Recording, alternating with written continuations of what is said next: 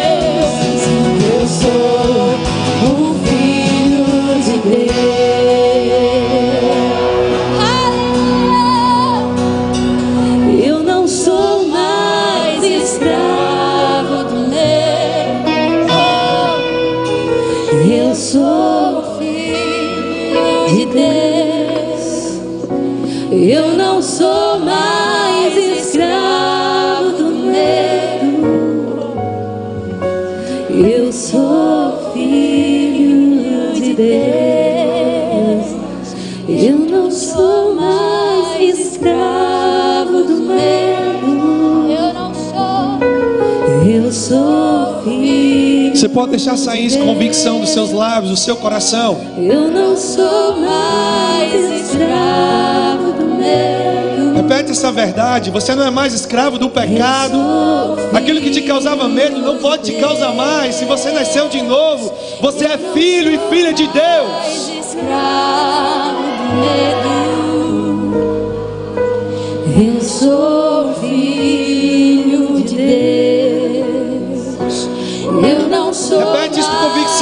não é mais escravo. Você não é mais escrava. Oh, aleluia! Eu sou um filho de Deus. Eu não sou mais escravo.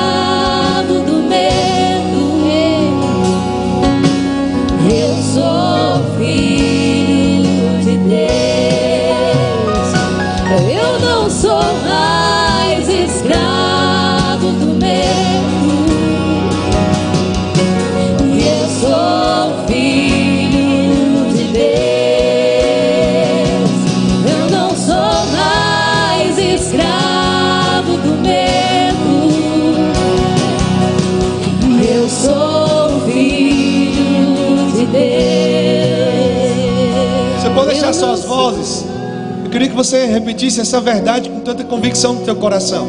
Você pode dizer assim, diga, eu não sou. Não sou. Mais escravo do medo. Eu sou. Diga, eu sou. Filho. Filha de Deus. Oh, aleluia. Você pode dizer, Deus é bom. Oh, aleluia.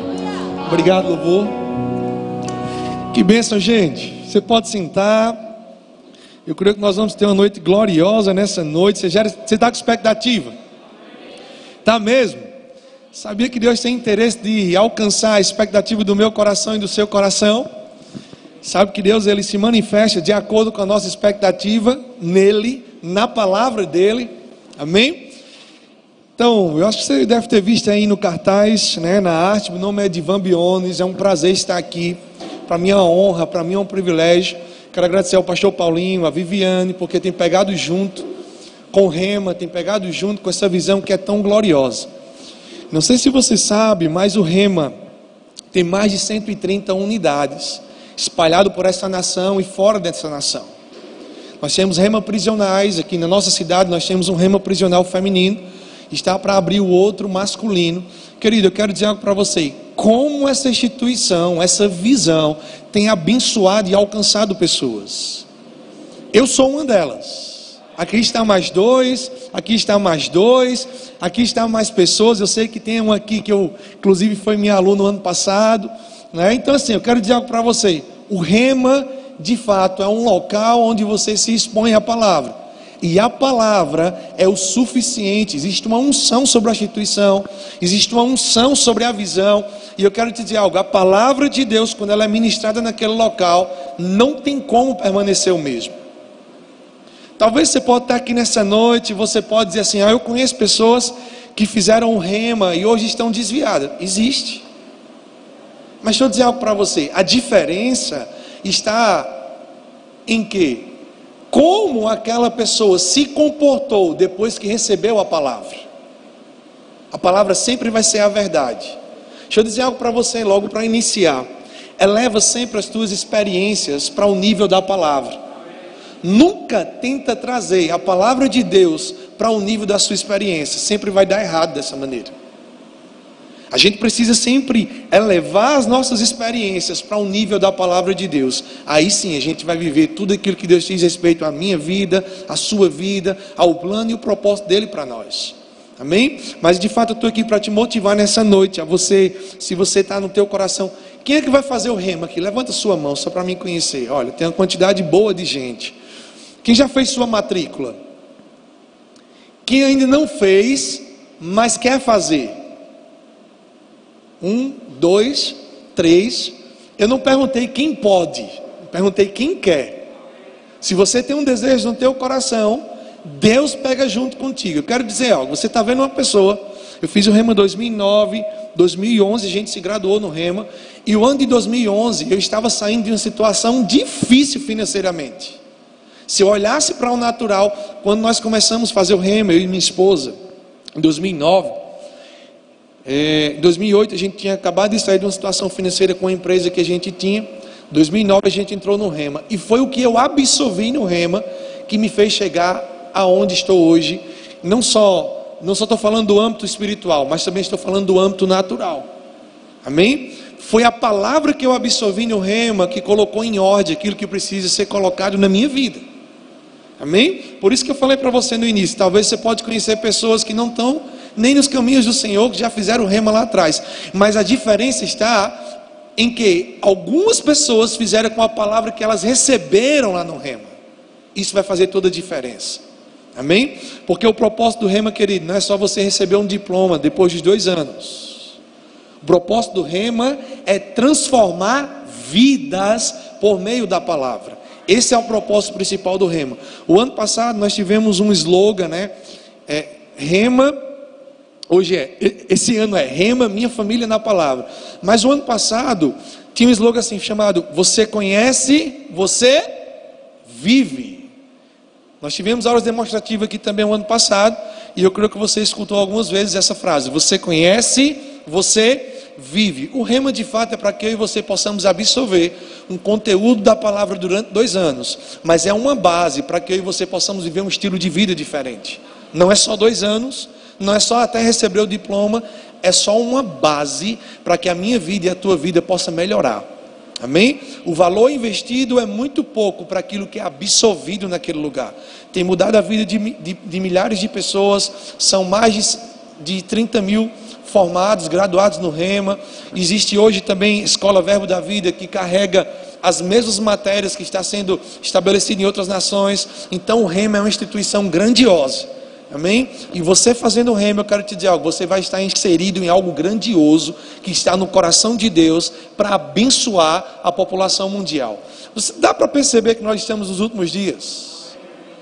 Nós temos tido aí um acampamento glorioso, por sinal, se você não teve a oportunidade de ir, e não tem nenhum lugar para estar aí amanhã ou terça-feira, eu te motivo. Nós temos recebido uma palavra maravilhosa, pastor, sobre o, o fato de que devemos estabelecer a nossa família na palavra. Se você puder acompanhar lá no YouTube, acompanha, porque as duas ministrações que tivemos hoje de manhã, as ministrações que nós tivemos ontem, as ministrações que tivemos na sexta-feira foram ministrações gloriosas, com essa tônica do Espírito, de estabelecermos a nossa família na palavra. Amém? Então, rema, diga assim: rema, minha família, na palavra. Eu não vou me deter muito nas informações do rema, você pode buscar ali um stand no final. Os meninos estão aqui de prontidão para poder te passar as informações e te dar as informações que você precisa, tá certo? Nós vamos para a palavra. Hoje nós vamos tratar um pouco sobre a matéria realidades da nova criação. Existem algumas coisas na palavra que a gente precisa conhecer. Quando nós não conhecemos quem somos, ficamos impossibilitados de desfrutar do que temos e do que podemos. Existe uma realidade, amém? Que nós vivenciamos antes de nascer de novo. Era uma realidade, hoje não pode ser mais. Por mais que eu e você nós não tenhamos amnésia, por mais que eu e você nós não tenhamos esquecimento daquilo que nós praticamos no passado, daquilo que a gente vivenciou no passado, da cultura ao qual nós nascemos, da família que nós nascemos, quem sabe que ninguém escolhe a família que nasceu? Amém? Mas deixa eu dizer algo para você nessa noite: não é a família que você nasceu que te impede de viver o plano e o projeto de Deus para a sua vida. Amém? A gente precisa compreender algumas coisas. Existe uma cultura assim que a gente passa a carregar com a criação, por meio dos nossos pais naturais, e a gente vai ver hoje à noite aqui que existe uma outra realidade para se viver. Amém? É verdade. É tudo aquilo que a gente absorveu na nossa criação, na nossa infância, na nossa juventude, é verdade. Está lá. Está no seu HD. Amém? De fato, você e eu, nós carregamos o DNA dos nossos pais biológicos. Mas você sabia que existe um DNA do seu pai espiritual? E é de acordo com esse DNA, de acordo com essa genética que eu e você hoje precisamos viver. É isso, é dessa maneira que precisa ser o nosso estilo de vida. Eu vou te contar uma história. É só uma ilustração, só para que eu possa dar um pano de fundo para aquilo que vai ser discorrido hoje à noite. Primeiro, você sabia que o problema da humanidade não é dinheiro? Você sabia que o problema da humanidade não é o presidente da nossa nação, não é o presidente de outras nações. É verdade que tem uma influência, é verdade que tem uma contribuição, mas o problema da humanidade se chama questão de natureza. Tudo começa com a natureza do indivíduo. Amém? A gente precisa entender que o problema da humanidade, pobreza, miséria, escassez, é tudo uma questão de natureza aquilo que acontece no exterior é só uma manifestação de algo que acontece no interior. Mas talvez você pode dizer para mim, ah, mas eu conheço cristãos que vivem como se não tivesse nascido de novo. É verdade. Mas isso não quer dizer que a palavra deixou de ser verdade. Isso não quer dizer que aquela pessoa deixou de receber a natureza de Deus. O que quer dizer é que aquela pessoa está vivendo de acordo com as suas próprias vontades carnais, mas não de acordo com a natureza que ela recebeu quando nasceu de novo.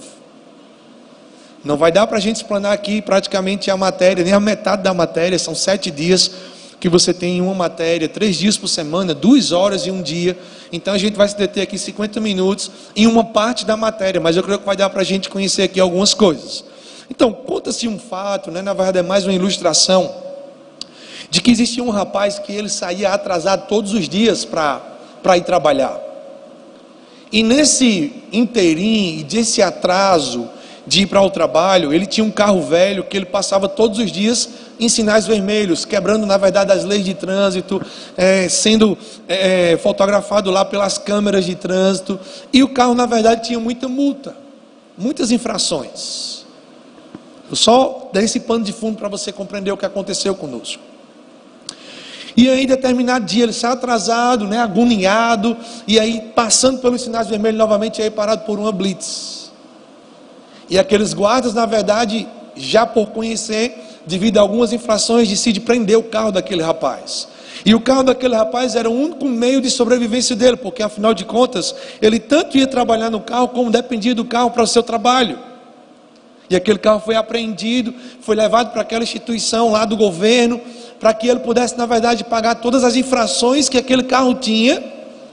E se ele não pagasse, não tinha como aquele carro sair daquele lugar. E esse rapaz decide buscar a justiça, mesmo sem recurso, quem sabe que existe aí uma justiça que ela é gratuita, paga pelo governo. Mesmo sem recurso, esse rapaz decide buscar a justiça. E aí ele entra na justiça para reaver aquele veículo dele que era tão importante para ele. Chegando diante do juiz, no tribunal, o juiz, na verdade, dá a sentença. E triste, aquele rapaz cabisbaixo por toda a situação, impossibilidade de trabalhar. Naquele local lá no tribunal, o juiz dá a sentença de que aquele rapaz ele precisava realmente pagar todas as infrações que ele tinha cometido durante anos.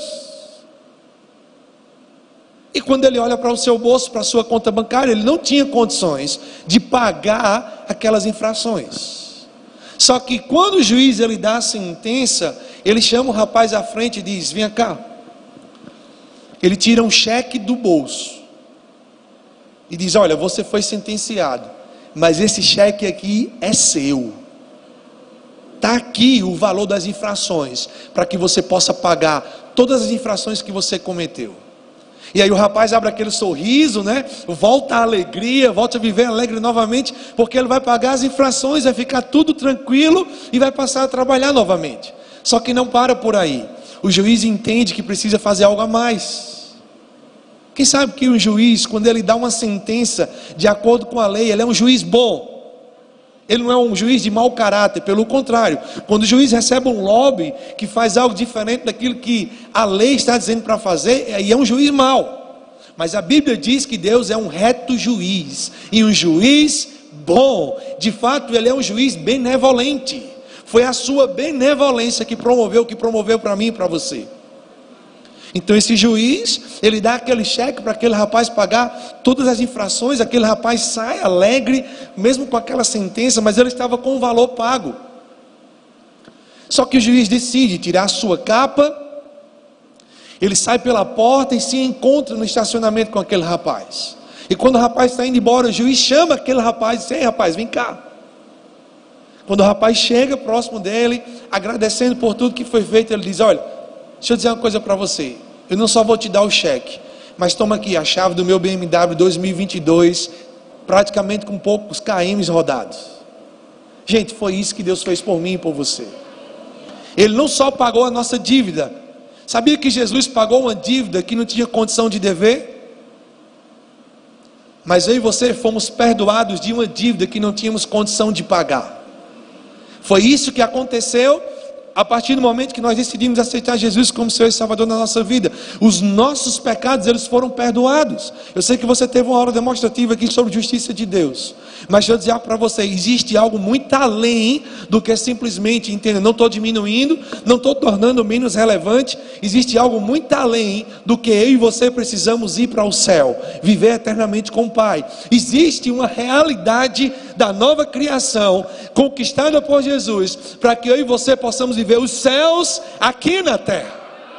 Não só foi perdão de pecados, não só foi é, pagamento da dívida que, que era minha, que era sua, mas também foi uma condição, uma capacitação para que eu e você pudéssemos viver a atmosfera dos céus aqui na terra. Deixa eu te fazer uma pergunta. Quem tem desejo de conhecer os Estados Unidos aqui? Eu sou um deles. Quem tem? Alguns, né?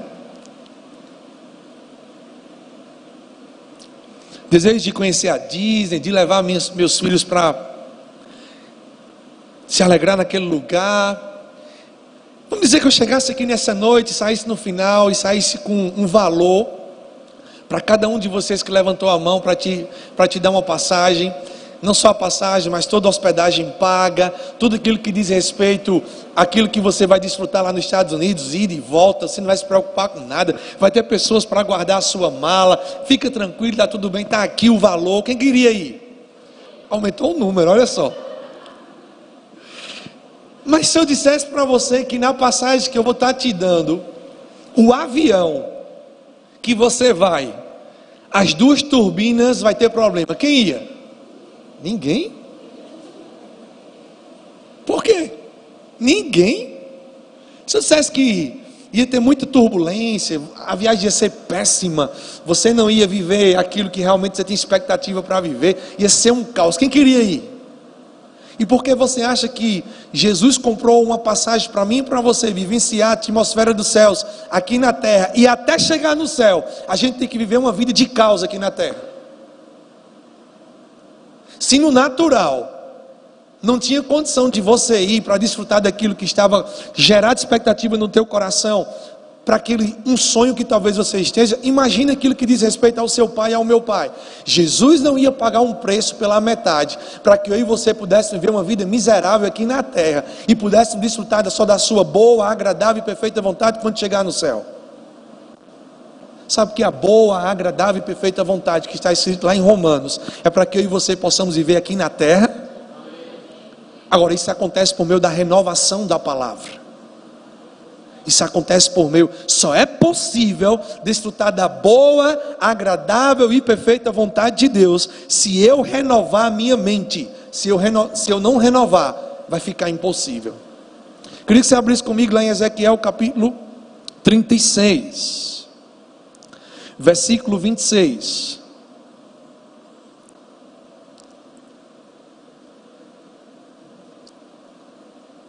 Oh, aleluia. Você pode dizer, Deus é bom. Ezequiel capítulo 36, versículo 26. Essa passagem não só está escrita aqui uma vez, no livro de Ezequiel, existe outras vezes, você encontra lá em Ezequiel capítulo 11, versículo 19, a mesma passagem. Ezequiel, na verdade, viveu em um tempo aproximadamente 590 anos antes de Cristo. Então, 590 anos, aproximadamente 600 anos, Deus estava falando por meio de Ezequiel aquilo que ia fazer por meio de Jesus. E a Bíblia diz aqui algo: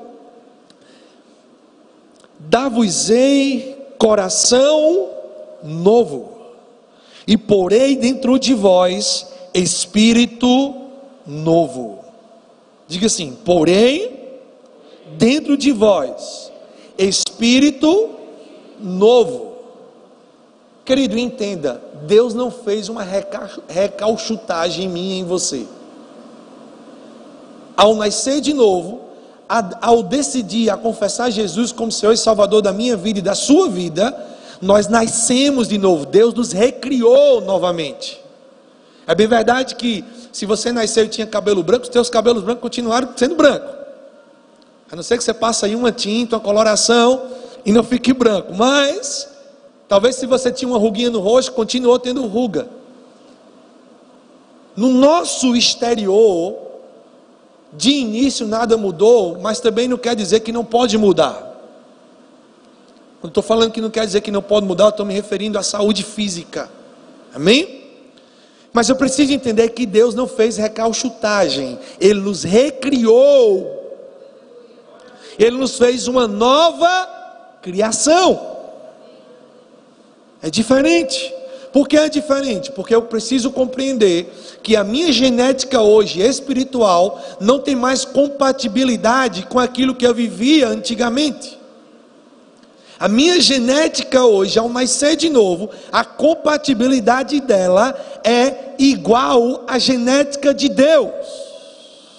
Está vendo esse ar-condicionado aqui? Qual o propósito do ar-condicionado? É promover uma atmosfera no ambiente que o ambiente por si só não tinha condição de promover. Se desligar o ar-condicionado, você não vai ficar aí do jeito que você está. Você vai se abanar, você vai suar mais do que pano de cuscuz, como diz aqui no Nordeste. Eu provavelmente não ia aguentar, por quê?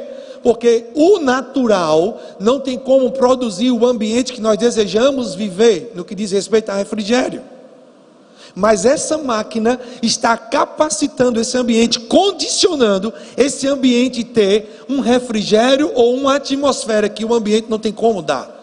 E ao nascer de novo, nós fomos capacitados pelo próprio Deus, recebemos a sua própria natureza a vivenciar que a nossa sabedoria humana, a nossa naturalidade humana, a nossa força humana não tinha nenhuma condição de proporcionar. Você entende? Tem muitas coisas que a gente precisa desfrutar em Deus, entender. Não vou tornar irrelevante fazer uma faculdade, fazer um curso, um curso técnico, mas eu preciso compreender que se eu der na verdade lugar aquele que é mais precioso do que as coisas naturais, as coisas materiais, elas vão ser favorecidas por causa daquilo que eu carrego por dentro. Amém? Então, o que é que ele diz aqui? Dá-vos coração. Essa palavra coração é a palavra lebe no original que significa ser interior ou homem interior. Aqui na velha aliança, isso aqui era a velha aliança, o homem na verdade estava vivendo debaixo do pecado. O que o homem vivia aqui era uma natureza caída que não tinha condições de praticar a lei. Deixa eu dizer algo para você nessa noite. Você sabia que a lei ela não foi abolida? Você sabia que existe princípios da lei que foi direcionada para os judeus, mas existe princípios da lei que é algo mundial? Vou dizer uma delas: não comer sangue. É antes da lei, foi incluso na lei, e hoje nós vivemos na nova aliança. Deus estabeleceu não comer sangue, porque sangue é o que? Sangue não é alimento, sangue é vida para Deus. Jesus, quando diz assim: Olha, eu vim cumprir a lei, eu não vim revogar a lei, mas eu vim cumprir. Existe uma outra parte da Bíblia que diz que o fim da lei é é o quê? E na maioria das vezes isso é interpretado de maneira errada. O que a gente precisa entender é que Jesus veio estabelecer um novo sistema de se cumprir a lei.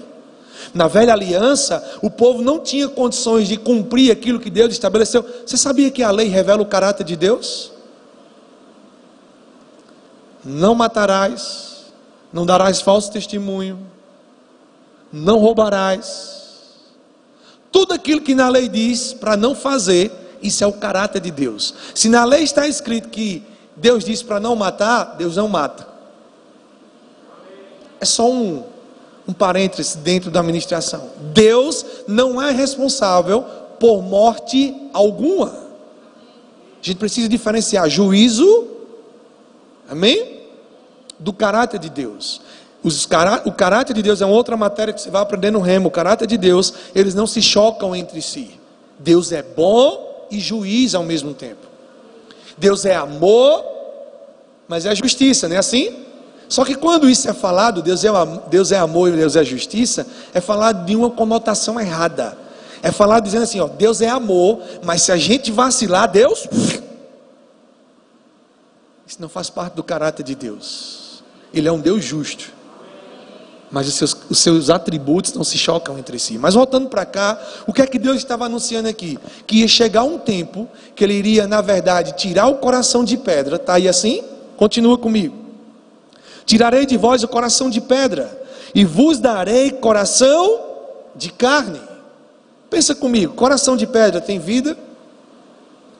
Quando Adão pecou, quando desobedeceu e pecou, Bíblia diz que ele foi destituído da glória de Deus, ele foi separado da vida de Deus, ou seja, Adão, o homem interior, não tinha a vida de Deus mais fluindo no seu ser. Por isso que coração de pedra. Quem sabe coração de pedra, trazendo para o nosso natural aqui, um coração de pedra que feito de uma pedra não tem vida no coração. Isso aqui é uma linguagem que Deus está mostrando que o homem sem ele, o homem atolado no pecado, a sua vida não tem como operar. 1 Tessalonicenses não abre, capítulo 5, versículo 23. Talvez foi tocado aqui na matéria Justiça de Deus, eu não sei. Mas se não foi, você pode escutar no Rema. Quem fez o Rema já aqui? Pastor Paulinho, algumas pessoas, eu quero te motivar a você se associar a Luminais se você ainda não se associou. Amém? Você tem lá mais de 30 mil aulas, mais de 30 mil horas de aula do Rema para você usufruir novamente daquilo que você escutou o ano passado, o ano retrasado, quando você se graduou. Amém? Então, 1 Tessalonicenses 5, 23 diz que nós somos um espírito, possuímos uma alma e habitamos em um corpo. De fato, não está escrito lá assim, mas diz que quando o Senhor voltar, a expectativa dele é que eu e você possamos ter o nosso espírito, alma e corpo irrepreensíveis. Então a gente entende por meio desse versículo que nós possuímos uma alma, somos um espírito e habitamos em um corpo. E quando o homem, na verdade, decide viver a sua própria vida longe de Deus, a vida de Deus, a glória de Deus não tem como operar no homem. É esse coração de pedra. Só que Deus diz algo aqui que ia fazer por meio de Jesus. Ele diz: Olha, tirareis de vós o coração de pedra e vos darei coração de carne dá para perceber que um coração de carne tem vida funcionando nele. Amém? Ou seja, Jesus estava querendo, Deus estava querendo dizer, perdão, que ia chegar um momento que nós iríamos receber a sua vida novamente. Aquilo que Adão perdeu lá no Éden, eu e você hoje nós temos totalmente acesso. Eu costumo dizer que a vida que nós temos disponível para mim e para você hoje é um estilo de vida melhor do que o que Adão viveu lá no Éden. Sabe por quê, querido? Adão não tinha Deus habitando dentro dele. Adão tinha um Éden disponível para ele, a presença de Deus disponível é verdade, mas aonde Adão fosse, Adão não carregava a presença de Deus. Se você nasceu de novo, aonde você vai, a presença de Deus está dentro de mim e dentro de você. Nós podemos ver isso, uma simbologia. Deus, na verdade, instituiu, instituiu isso para poder nos mostrar algo muito mais na frente, através da arca da aliança. A arca era feita de madeira e revestida de ouro. A Bíblia diz que Obed-Edom, porque colocou a arca na sua casa durante três meses, ele prosperou de maneira extraordinária. A arca era um simbolismo da presença de Deus. E quando eu olho para a arca, dá para perceber: madeira, algo corruptível, ouro, algo incorruptível. E a presença de Deus habitava dentro da arca. Quando você olha para o meu corpo, para o teu corpo, a Bíblia diz que o nosso corpo ele é corruptível. Mas ao nascer de novo, nós nos tornamos incorruptíveis. Por isso hoje nós podemos carregar a presença de Deus, assim como aquela arca carregava a presença de Deus. Então a gente precisa considerar importante que essa realidade da nova criação nos dá um nível de vida a viver muito mais além do que aquilo que o povo vivia na velha aliança. Agora, a gente vai ver algumas coisas aqui. E eu queria que você abrisse comigo, fosse comigo lá para 2 Coríntios capítulo 5, versículo 17. Esse é o versículo base dessa matéria. Eu sei que existe uma outra parte do versículo que eu vou ler aí quando você abrir 2 Coríntios capítulo 5.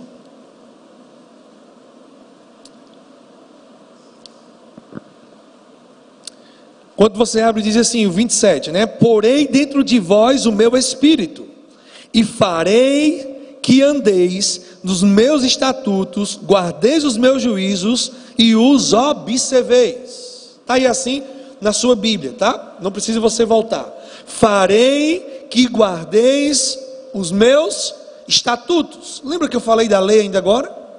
Deus estava falando algo que ia acontecer por meio de Jesus, e o propósito de Deus era que eu e você nascêssemos de novo e praticasse aquilo que foi estabelecido na lei. Agora, a gente precisa compreender que existe uma parte da lei que ela é específica para o povo judeu. Amém?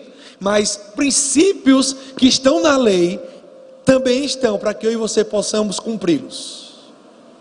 Não matar, não roubar, não mentir. Isso faz parte de característica de quem nasceu de novo. Amém, gente? Não vamos me deter muito nesse assunto, você pode aprender mais no rema. Agora, 2 Coríntios capítulo 5. Versículo 17. Diz assim: E assim, se alguém está em Cristo, tem alguém em Cristo aqui? Você tem convicção dessa verdade? É nova criatura. As coisas antigas já passaram eis que se fizeram novas. Agora eu vou ler uma outra versão aqui, essa versão ela fica mais compreensível. Diz: Quando alguém se torna um cristão, ele se torna uma nova pessoa por dentro. Ele não é mais o mesmo, uma nova vida começou. Eu vou ler de novo para você. Quando alguém se torna um cristão, ele se torna uma nova pessoa por dentro. Ele não é mais o mesmo, uma nova vida começou. Eu vou te fazer uma pergunta nessa noite. Como você e eu estamos vivendo o estilo de vida aqui na terra? Estamos vivendo segundo essa nova vida que começou ou segundo o nosso estilo de vida anterior? Porque existe uma nova vida dentro de mim e de você, disponível para ser vivenciado aqui fora. A grande questão é que às vezes a gente quer viver uma vida de fora para dentro. Mas hoje, ao nascer de novo, a gente precisa viver uma vida de dentro para fora. Porque é aqui dentro que a presença do Senhor habita. É aqui dentro que nós carregamos o Espírito Santo.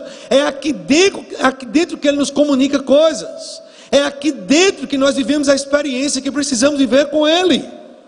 Tudo precisa partir aqui de dentro. Quando eu falo aqui de dentro, eu falo do nosso homem interior que foi recriado. Agora, perceba comigo.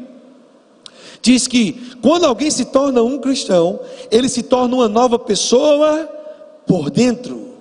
Eu preciso entender que o propósito de nascer de novo não é só desfrutar daquilo que foi conquistado por Jesus, daquilo que diz respeito às coisas naturais, às coisas materiais, de ser, na verdade, saudável, mas o propósito de nascer de novo é manifestar Jesus aqui na terra. Ele se identificou comigo e com você para nos substituir, é verdade. Hoje nós nos identificamos com Ele para substituir Ele aqui na terra para revelar a Ele aqui na terra. Deixa eu dizer algo para você: é possível.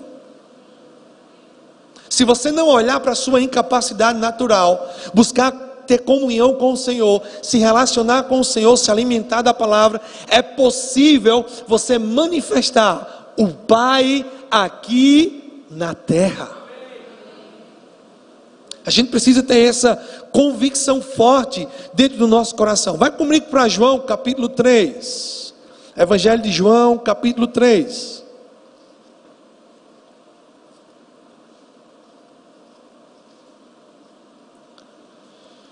Uma passagem muito conhecida, a gente precisa ver alguns detalhes aqui, tá certo?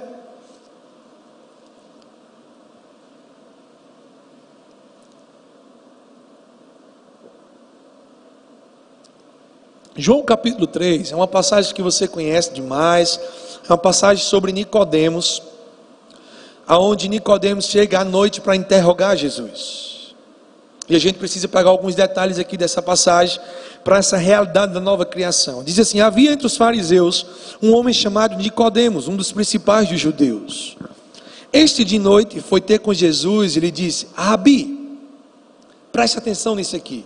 Se você tem costume de grifar a tua Bíblia, risca essa parte aí. Diz assim: Rabi, Sabemos que és mestre vindo da parte de Deus, porque ninguém, está aí assim? Perceba que não, é, não era algo voltado só para Jesus. Quando ele diz aqui, porque ninguém, é porque pessoas, além de Jesus, pode fazer o que Jesus fez, pode viver o que Jesus viveu, pode manifestar o que ele manifestou. Ele diz, porque ninguém pode fazer estes sinais que tu fazes se Deus não estiver com ele. Querido, Deus não só está comigo e com você. Ele não só está, como Ele não nos abandona, como Ele habita em nós hoje. Se Jesus fez o que fez, nós podemos fazer o que Ele fez. Então, a isto respondeu Jesus: Em verdade, em verdade te digo que se alguém não nascer de novo, não pode ver o reino de Deus. Se você está aqui nessa noite e não tomou essa decisão de nascer de novo, eu quero te dar um conselho: não perde tempo. Se você quiser viver o plano de Deus para a tua vida, você precisa nascer de novo. Jesus está falando, isso é Ele falando aqui, olha. Em verdade, Jesus dizendo, em verdade, em verdade te digo que se alguém não nascer de novo, não pode ver o reino de Deus. Perguntou-lhe Nicodemos: Como pode um homem nascer sendo velho? Pode porventura voltar ao ventre materno e nascer segunda vez? Respondeu Jesus: Em verdade, em verdade te digo: quem não nascer da água, essa água aqui é a palavra de Deus, amém? Da água e do Espírito, não pode entrar no reino de Deus. Agora, a chave para mim e para você, no que diz respeito à realidade da nova criação, está no versículo 6. Jesus diz: o que é nascido da carne é carne. Quantos aqui tem dúvida que você carrega a genética dos seus pais biológicos? Ninguém, né? Características. Se você tem olhos verdes, talvez seus pais têm, seus avós tiveram ou têm. A aparência, tamanho, né? Características, está na nossa genética, a palavra que é tão conhecida, DNA. Deixa eu ler aqui o significado dessa palavra. DNA ou ADN é um composto orgânico cujas moléculas contêm as instruções genéticas que coordenam o desenvolvimento e funcionamento de todos os seres vivos. Ou seja, eu carrego aqui no meu corpo a genética dos meus pais biológicos. Isso é verdade para você? Isso é verdade, né? Você aprendeu isso lá no início, lá na escola, provavelmente na aula de biologia, não é assim? Amém? Agora, deixa eu dizer algo para vocês. Se é uma verdade no natural, o que Jesus está falando aqui, completando o versículo, precisa ser mais real do que o natural. Genético é algo relativo à gênese, origem ou nascimento. Ou seja, processo de origem de algo ou de alguém. Hereditariedade transmissão e manifestação de caracteres. Agora, preste atenção ao que Jesus diz: o que é nascido da carne é carne, e o que é nascido do espírito é espírito, ou seja, da mesma maneira que eu e você nós carregamos a genética dos nossos pais biológicos, ao nascer de novo, passamos a carregar a mesma manifestação, a mesma influência, a mesma vida de Deus.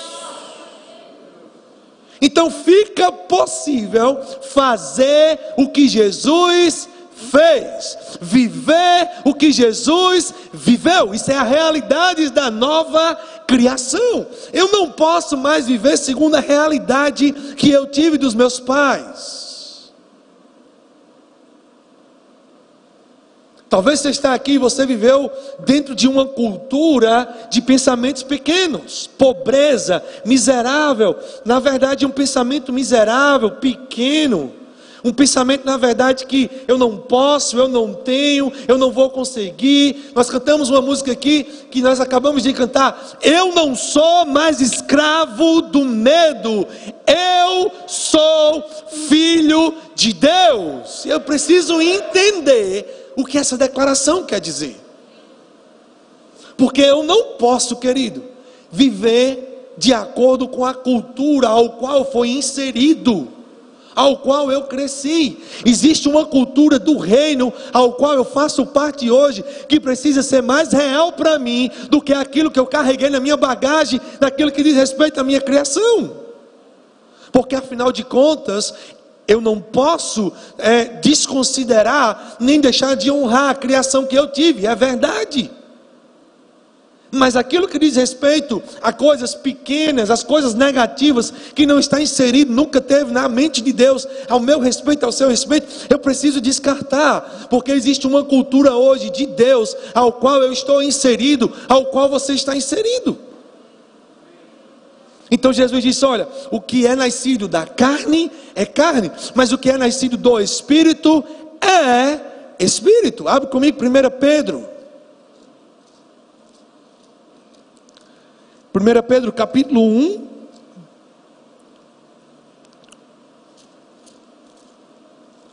Você pode dizer, Deus é bom. Versículo 22. Percebe o que, é que a Bíblia diz? Pastor, se o senhor puder aí só me sintonizar com o tempo, por favor, que eu me perdi aqui, viu?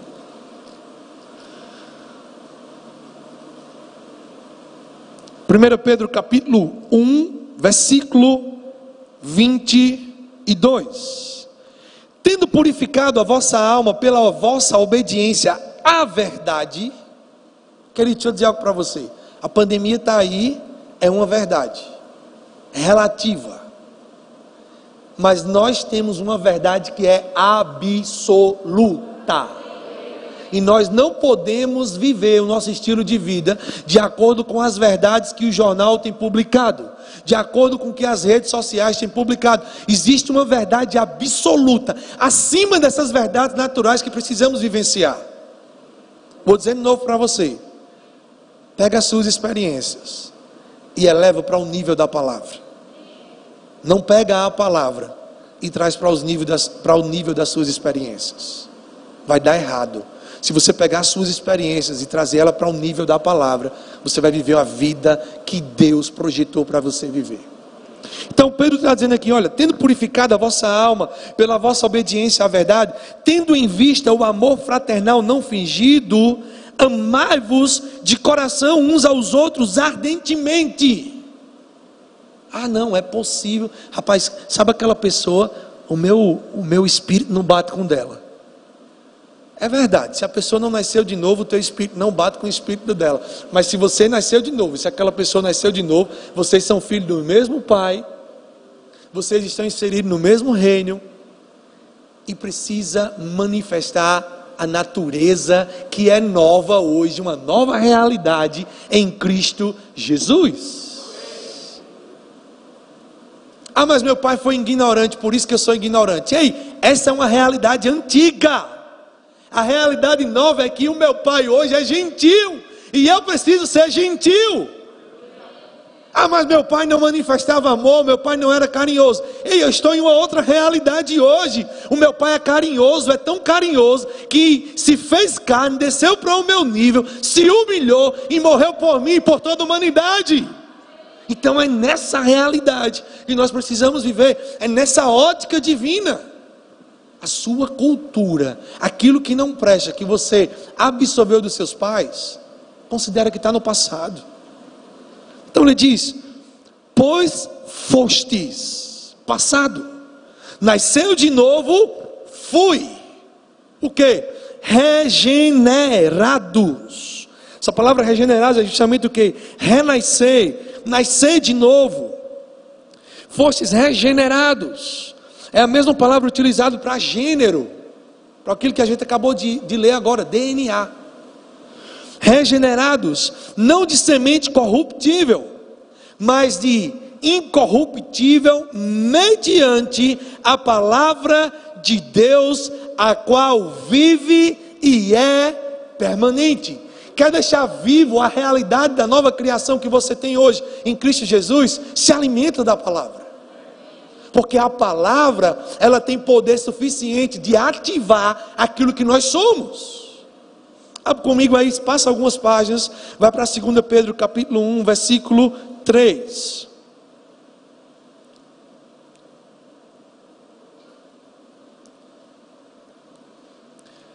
Visto como pelo seu divino poder nos tem sido, nos tem sido Lembra da passagem que eu falei? Você não só vai desfrutar da boa, agradável e perfeita vontade de Deus quando chegar no céu.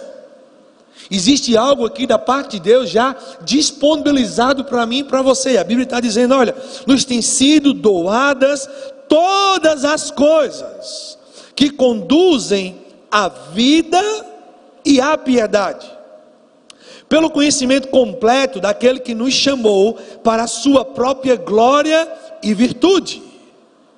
Eu e você, nós somos chamados para desfrutar da glória de Deus e do seu poder pelas quais nos têm sido doadas as suas preciosas e muito grandes promessas. Para quê? Qual o propósito de Deus, na verdade, fazer tudo isso? Para que por elas vos torneis coparticipantes. O que significa essa palavra? Participação comum de alguma coisa. Amém? significa que tem uma outra pessoa que participa comigo de uma mesma coisa. Tá claro para você? De algo, de uma verdade. Então, para que por elas vos torneis participantes da natureza divina. Ei, nós não somos mais miseráveis. Nós não somos mais pobres nós não somos mais enfermos, doentes, nós carregamos a natureza divina. Nós somos participantes, a natureza de Deus está em nós hoje. Deixa eu dizer uma verdade para você. Sabe que Jesus, sem mim e você hoje, não é completo? Oh, será que você não está falando heresia? Estou não. Bota um dedinho aí, vai comigo para Efésios capítulo 1. Efésios capítulo 1, versículo 22. Preste atenção nisso aqui. E pôs todas as coisas debaixo dos pés. E para ser o cabeça de todas as coisas, está falando a respeito de Jesus o deu à igreja. Quem é a igreja aqui? Eu vou perguntar de novo: quem é a igreja aqui? O deu à igreja, a qual é o seu corpo, a plenitude. Essa palavra plenitude aí é, é, é o que? Que completa, torna pleno, completa uma parte. Então, a qual é o seu corpo, a plenitude daquele, ou seja, a igreja, nós hoje somos a plenitude de Jesus. Jesus sem nós, ele hoje é só a cabeça. Perceba, gente, não estou tornando algo, não estou tornando Jesus inferior. Eu estou só trazendo a mim e a você para o nível do que a Bíblia diz. A Bíblia diz que Jesus hoje, ele é completo por mim e por você. Afinal de contas, ele morreu para isso. Está dizendo aqui o que? A qual é o seu corpo, a plenitude daquele que a tudo enche em todas as coisas seja, qual é a realidade da nova criação hoje? Nasci de novo, passei a fazer parte do corpo de Cristo, me tornei igreja, completo Cristo, Cristo me completa, somos um. 1 Coríntios capítulo 6, versículo 17 diz que aquele que se une ao Senhor é um só com ele. Aquele que se une ao Senhor é um só com Ele. Deixa eu dizer algo para você. O diabo não é páreo para mim e para você. Se você não sabia dessa verdade, se talvez o telefone toca às três horas da manhã, quatro horas da manhã, para você expulsar demônio, talvez pode tocar hoje, não perturbe o seu pastor. Porque o mesmo poder que ele carrega, a mesma vida que ele carrega, a mesma fonte que ele carrega, o mesmo espírito que ele carrega, você também carrega. Da mesma maneira que o diabo tem medo dele, o diabo também tem medo de você. Talvez, talvez você ainda não sabia disso. Porque se a Bíblia diz que aquele que se une ao Senhor é um só com Ele, quando o diabo olha para mim e para você, se a gente vive um estilo de vida de acordo com a verdade, ele não vê Edivan, ele vê Jesus. Amém? Volta comigo lá para 2 Pedro. A gente vai estar tá finalizando. Oh, aleluia. Você pode dizer, Deus é bom. Não sei se eu acordei alguém, mas se eu acordei, me perdoa. Então, 2 Pedro capítulo 1, versículo 4, diz assim: para que, para que por ela vos torneis co-participantes da natureza divina, livrando-vos da corrupção das paixões que há no mundo. Então, o que foi que Deus fez aqui por meio de Jesus? Ele nos fez participante da sua própria natureza, com o propósito de nos livrar das paixões que há no mundo. Você sabia que para quem nasceu de novo, pecar não deve ser algo contínuo? Você sabia que para quem nasceu de novo, não existe isso mais para mim e para você? Ah, é porque a carne é fraca? Porque ao nascer de novo, eu e você, nós somos livres da escravidão do pecado. O pecado não nos domina mais. A morte não tem mais poder sobre mim e sobre você. Ah, tem não? Tem não. E porque pessoas estão morrendo? Quando eu falo que a morte não tem mais domínio sobre mim e sobre você, estou falando sobre o nosso homem interior. Nascemos de novo, não vamos viver mais separados do nosso Pai. Estou falando de morte, é, morte de separação do Senhor, morte espiritual. É bem verdade que o corpo humano, o corpo humano, perdão, ainda por causa da, da consequência do pecado, carrega em si aquilo que foi consequência lá no Éden. Lá no Éden. Mas o meu espírito o seu espírito não desfruta mais ou não vivencia mais morte. E a Bíblia diz que por meio da fé nós podemos vivificar o nosso corpo em Cristo Jesus. Agora, vai comigo para Romanos. Romanos capítulo 6.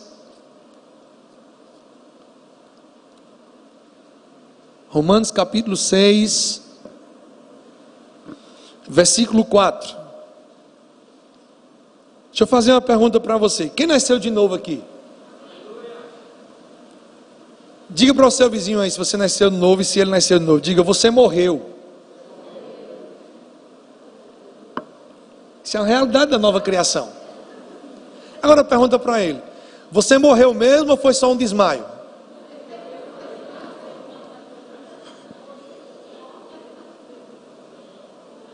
Pergunta novamente: Você morreu mesmo ou foi só um desmaio?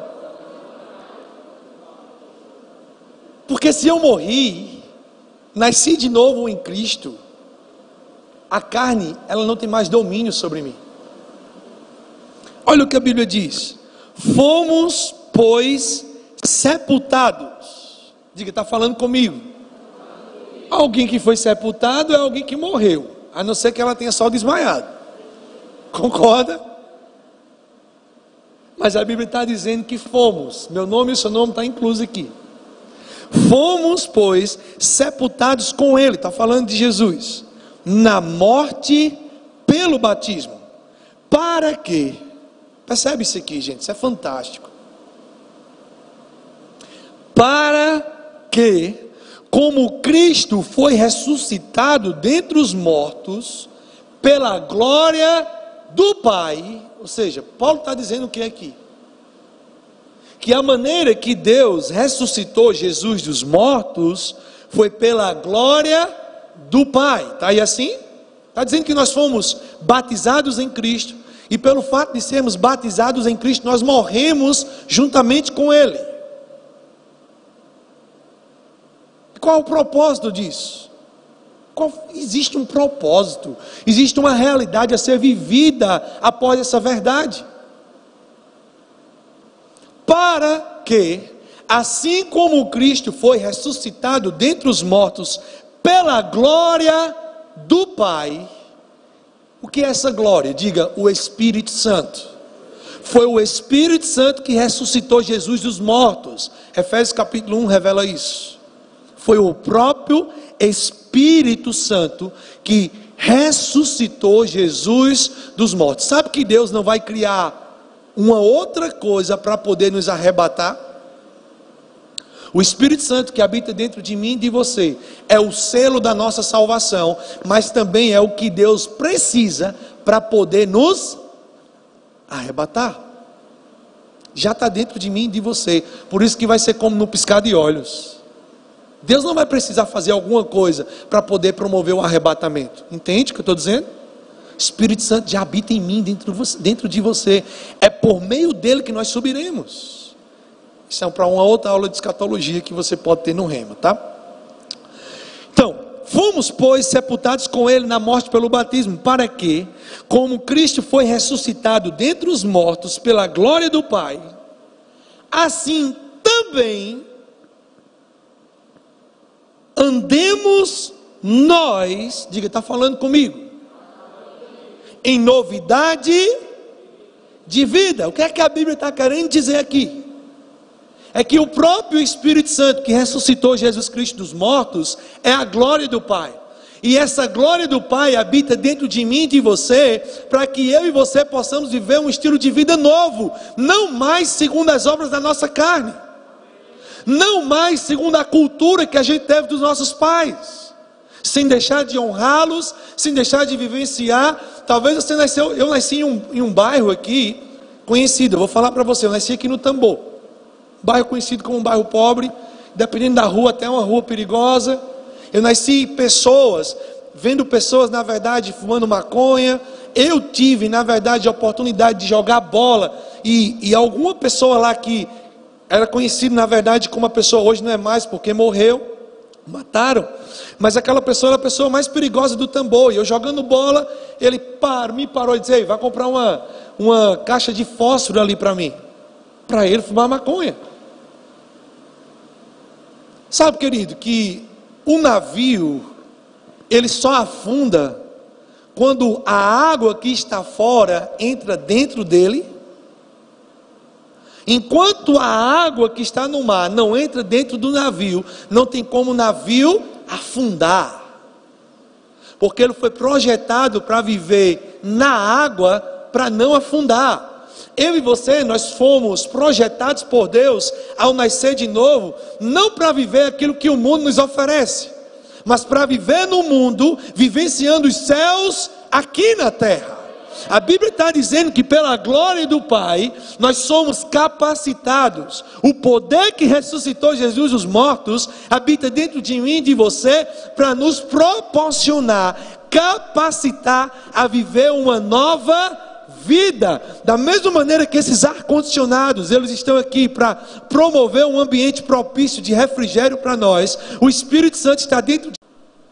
Venha nós